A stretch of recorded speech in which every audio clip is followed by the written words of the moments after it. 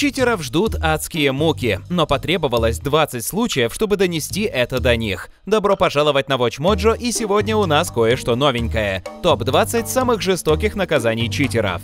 This rule-breaking criminal reeks of the corrupt mechanisms of slothfulness. В этой подборке мы рассмотрим, как разработчики наказывают игроков за обман в любых играх. А еще загляните к нам в телегу, там куча годного контента, ссылка внизу. Ну все, поехали. You've got no respect for the strict order of scripted narrative events, and I just can't have that. Номер 20. Код Konami не работает. Разные игры.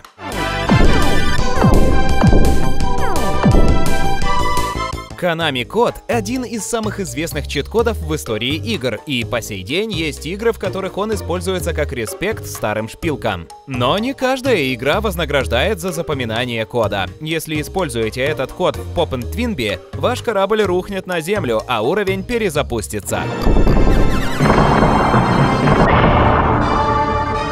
Contra 4 код Konami действует как код мгновенной смерти, если только вы не введете его на сенсорном экране DS во время десантирования с вертолета. А после применения в Super Monkey Ball Jr. название игры меняется на Super Nice Try. Это доказывает, что знание поп-культуры не гарантирует легкого пути, так что осторожнее. Номер 19. Вас засырят. Crash Bandicoot Insane Trilogy.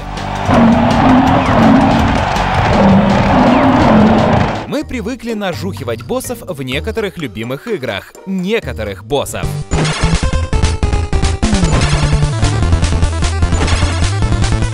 Некоторых играх становится ясно, что нам нужно играть так, как этого хотели разработчики. Вот, например, Crash Bandicoot 3 Warped. Во время битвы с Tiny Tiger можно пробиться сквозь волны львиных набегов, просто стоя в верхнем левом углу. Но если вы попытаетесь воспроизвести этот эксплойт в ремейке Insane Trilogy, Vicarious Visions забросает вас сыром, пытаясь вызвать чувство вины.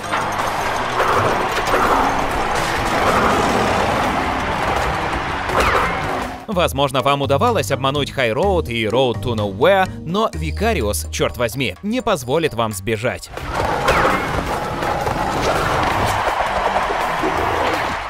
Номер 18. Режим Boss Rush. Crusader No Regret.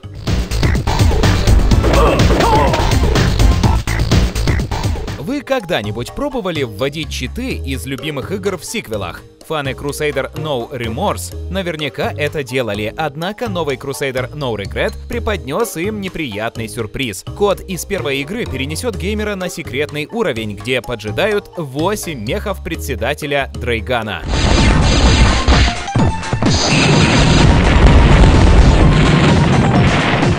Для любого нормального человека это невозможно. Те, кто выжили, лишь подтвердили, что такая победа не приносит удовлетворения. Игра по-прежнему убивает вас за паршивое читерство. По делам или нет, но это как ни крути жестко. Номер 17. Использование автофайера. Metal Gear Solid. Hey, French films are all right, but I don't care about that crap.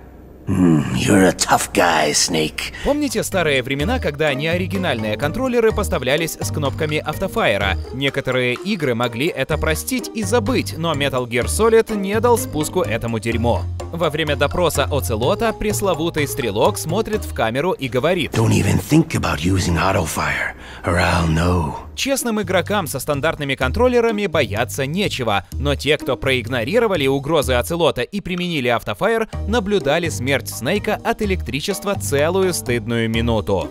Надеюсь, ваш обман того стоил, ребята. Вы добились смерти человека. Гордитесь собой. How did you like that? Shall we go again? Номер 16. Использование читов Doom. Heretic. Как и с кодами Konami, стоит быть осторожным, применяя классические читы. Это относится и к кодам Doom. Те, кто играл в Heretic от Raven Software, прошли трудный путь. В Doom легендарный код IDDQD дает игроку режим бога, делая его неуязвимым. А в Heretic этот код мгновенно убивает геймера. Похожая ситуация с читом IDKFA, который в Doom предоставляет игроку доступ ко всему оружию. А вот в Heretic он забирает у игрока оружие, оставляя его с палкой. Надеюсь, ты готов принять вызов? Далеко не уйдешь, читырюга.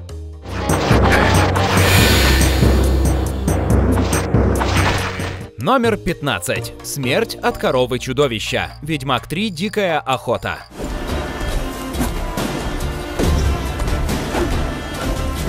Один из наиболее забавных способов наказания читеров — это призывать кошмарного монстра, который будет преследовать их. Кто-нибудь еще помнит непобедимого Скорпиона из Sirius Sam 3? В Ведьмаке 3 обнаружили эксплойт, который позволяет фармить золото за убийство коров. CD Projekt Red выпустила патч, который заставляет эксплойт спавнить Bivine Defense Force Initiative. По сути, вас ждет борьба с нескончаемой ордой демона коров, пытающихся вас кокнуть. Это покажет людям, что значит убивать скотинку без причины.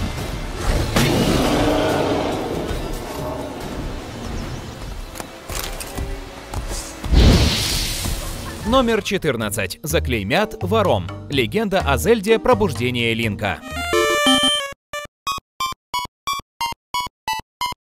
Это классический чит Nintendo, про который знают многие фанаты Зельда. В пробуждении Линка можно получить бесплатный предмет в одном из игровых магазинов. Просто зайдите, возьмите нужный предмет, заставьте торговца повернуться к стене и убегайте, прежде чем он сможет развернуться. Можно получить предмет бесплатно, но будьте осторожны, игре все известно. NPC до конца игры начнут называть вас вор, а не именем персонажа. А в следующий раз, когда вы зайдете в магазин, то заплатите страшную цену. Читеры, вы бы предпочли, чтобы Линк был отважным героем или мелким мошенником? Это будет на вашей совести.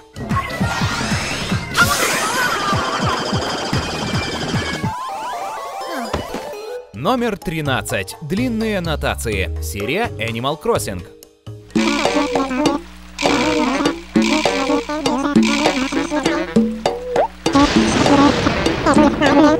Говоря о нечистой совести, Animal Crossing наверняка поставит вас в тупик. Все происходит в реальном времени, и игре не нравится, если вы пытаетесь каким-либо образом манипулировать файлом сохранения, в том числе забывая сохраниться.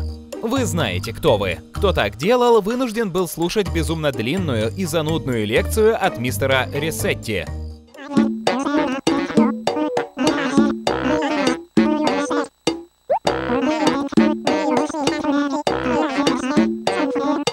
И нельзя ничего делать, пока не поговорите с ним, ведь уход его еще больше разозлит. Со временем все усугубляется, и он просит вас ввести определенные фразы, вроде «Слава Ресетти» или может пригрозить стереть ваш сейф. Лучше не переходить ему дорогу.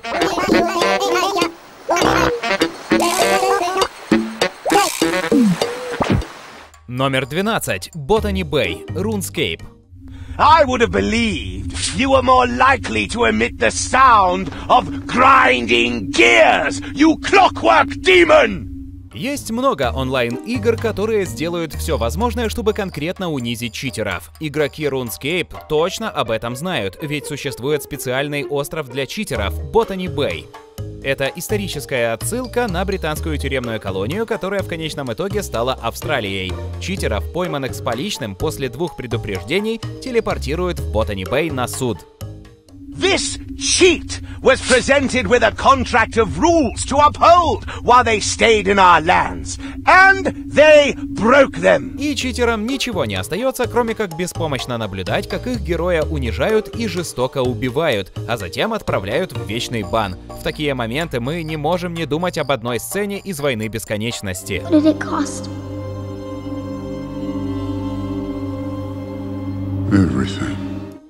Номер 11. Забанили больше, чем на 7000 лет. Monster Hunter Try.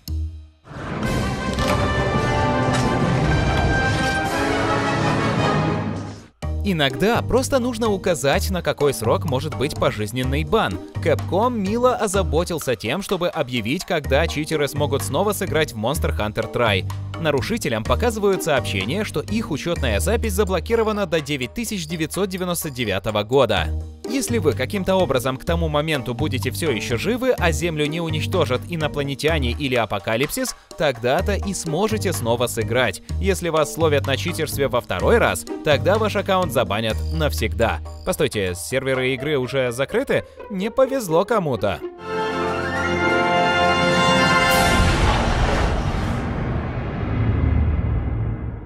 Номер 10. Грязный хакер. Undertale.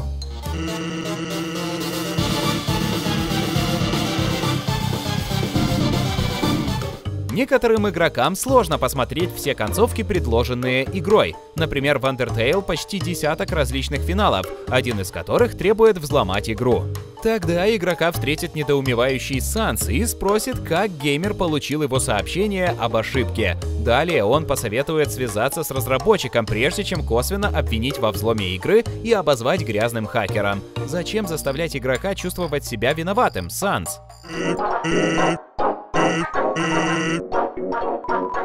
Номер 9. Удаление сейвов. Банджо Казуи.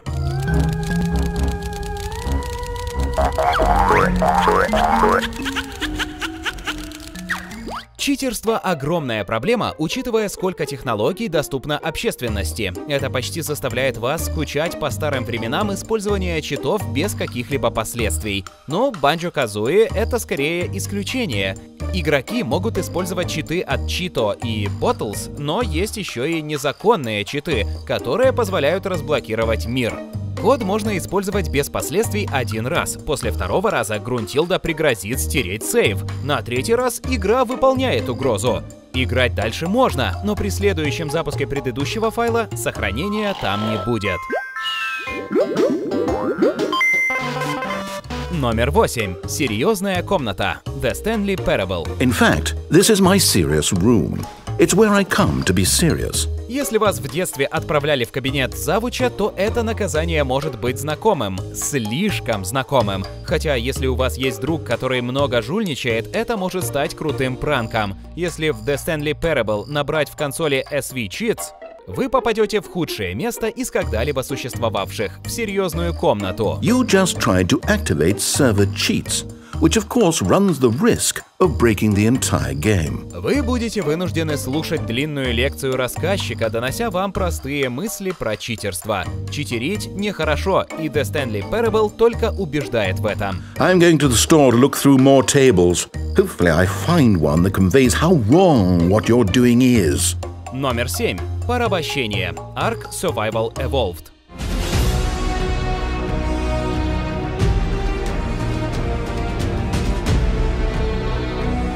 И во многих онлайн-играх, в Ark было немало читеров и гриферов. К счастью, комьюнити нашло способы противодействовать этим негодяям. Они захватывали и порабощали персонажей. Из-за этого мошенники и гриферы будут вынуждены либо прекратить играть, либо служить своим похитителям, пока их не освободят. Читер не может убить своего персонажа, ведь его можно кормить принудительно, чтобы сохранить жизнь. Это форма самосуда, созревшая для использования, но у комьюнити хватает удачных примеров перевоспитания нечестных игроков. Номер 6. Убийца игроков. Red Dead Redemption. Rockstar применили творческий подход для унижения читеров первой RDR. Любые игроки, увлеченные в мошенничестве, окажутся нон-грата в каждом городе. Законники начнут стрелять в читеров, если те окажутся в зоне действия. И неважно, сделал ли читер что-то провокационное, а для поддержания интереса к самосуду игра пометит ваш аккаунт «Убийца игроков», что может привлечь нежелательное внимание других геймеров. Эй, если они читерят, чтобы потешить свое эго, то почему бы не привлечь к ним внимание, превратив их в самых разыскиваемых преступников на Западе? Номер 5. Обнуление и заклеймление рейтинга. Xbox Live.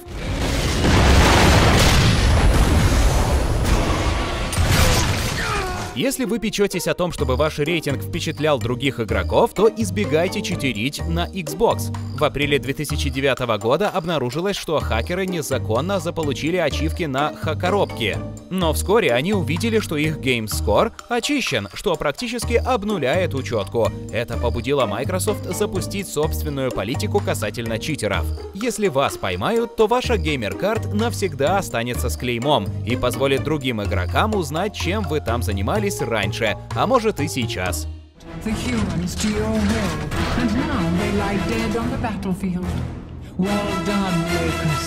Номер 4. Публичное унижение и удаление персонажа. Guild Wars.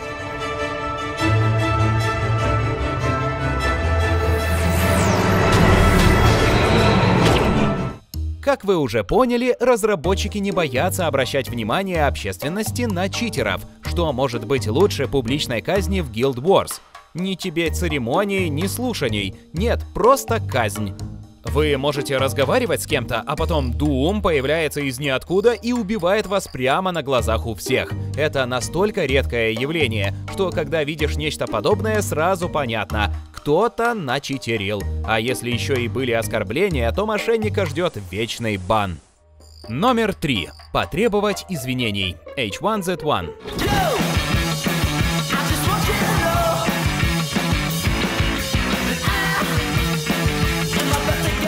Нет ничего нового в том, чтобы требовать извинений от читера, но H1Z1 поступает иначе. Если вас поймают на читерстве, то навсегда заблокируют вашу учетку.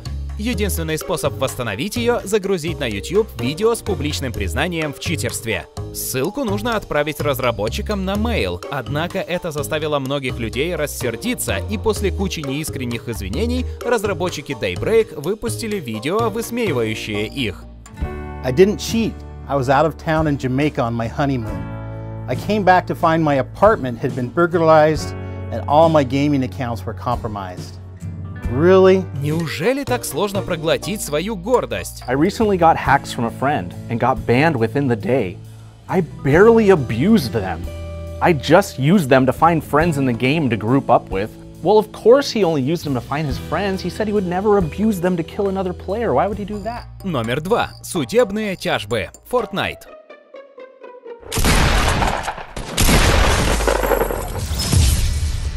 Со стороны разработчика это может показаться мелочным ходом, но есть множество причин подать в суд на читера. В ноябре 2017 года Epic Games подала иск против 14-летнего пацана. Но он не только использовал читы для себя, а еще и продавал их с целью получения прибыли. Это не был единичный инцидент. Ютубера Golden Mods Epic также засудил в октябре 2018 за продажу модов для Fortnite на своем сайте. Оба случая были урегулированы в пользу Epic, а сумма компенсации не разглашалась. Короче, не надо читерить. Это может закончиться плохо.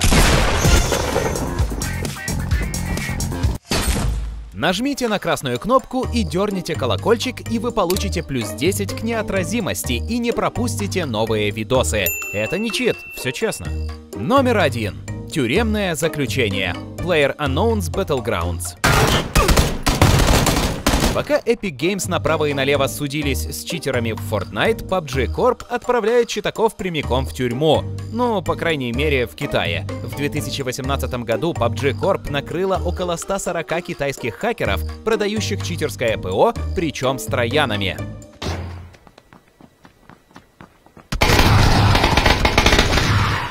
Все хакеры были арестованы, и некоторым грозит штраф в размере более 5 миллионов долларов. Сейчас читерство в играх перешло все известные рамки. Оно может навредить репутации игры и отпугнуть игроков, поэтому разработчики не будут это игнорировать и могут даже подать в суд или потребовать крупный штраф. Просто играйте в игру честно, как и все, и проблем не будет.